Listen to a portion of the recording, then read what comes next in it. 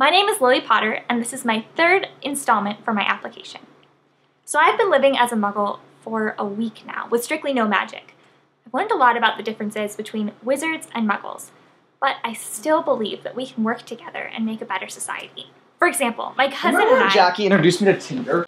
Um, you mean the greatest mistake ever made on humankind? Yeah, yeah, yeah. Well, I'm pretty sure I found another wizard girl on here. What? She's read every history book about your dad. She has a wand that looks just suspiciously like my mom's. Hmm. But the thing that really gave her away, her profile picture is of her standing in front of Hogwarts with a butterbeer. Like totally a wizard. Why Yeah. left?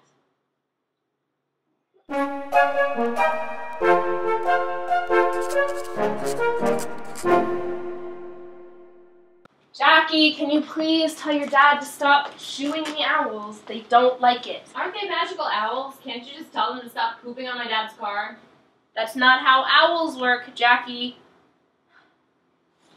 Hugo, Mother has sent us Hogwarts, a history, because we must have forgotten it when we packed. And Lily, for you, I have two letters. Blaze is a pretty great pen pal, isn't he? Weren't you supposed to be filming today? Oh, well, Hugo had some very important Tinder updates to share with me. But it's okay, I'll film later. Well, how do you feel about the project? You know, I feel pretty good. I mean, I've learned more about muggles on this trip than I have in all of my muggle studies classes. I really think that combining their knowledge of the world with ours is going to be better for society. I think so too. Give me that. She's pretty. She's a dude. My opinion hasn't changed. So how's the application coming? Oh, so good. I have all of my notes here, so I'm just gonna film an overview for the ministry and then you can edit it for me. Thank you so much for everything. Ah, yeah, of course. I'm really glad I could help. And honestly, I'm surprised you guys lasted a whole week without magic. I really didn't think you'd make it. yeah, me neither. so, what's the last task? Well, I'm basically at the end goal. Hmm. I have to actually reconcile the two sides of my cause. Yeah, I don't think I'm gonna get all of the muggles and all of the wizards to somehow work out their differences. But I don't actually have to do it, I just have to show that it's possible. I gotcha. hey, isn't it a shame that I couldn't just come live at Hogwarts? that would be so fun. I don't see why not.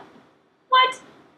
I mean, Jackie could come live at Hogwarts for a week, and she could learn about Wizarding Society. I mean, I've learned so much about Muggle Society and uh, Muggle boys just in the week that I've been here. But wouldn't it be great if a Muggle could experience the Wizarding world too?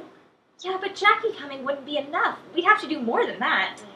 Culture exchange. A what?